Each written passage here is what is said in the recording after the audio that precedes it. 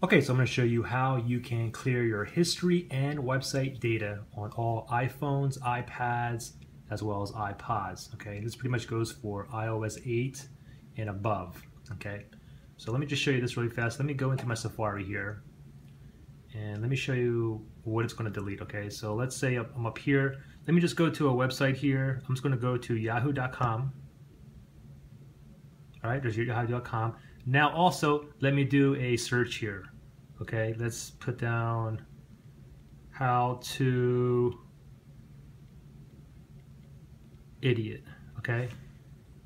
Okay, now if I go into my history here, anybody can check these. I'm gonna go in history here, and you can see that I looked up uh, yahoo.com as well as how to idiot.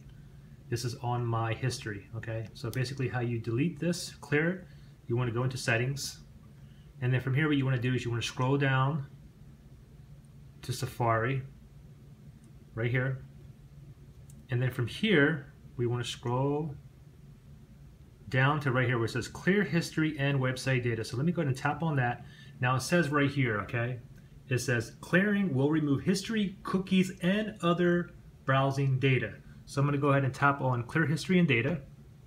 Now I'm going to go ahead and go back into my Safari and I'm going to look at my previous history. Voila! It's all gone for you naughty people out there. Thanks for watching. If you guys subscribe, share, like, I appreciate it. Thanks. Bye.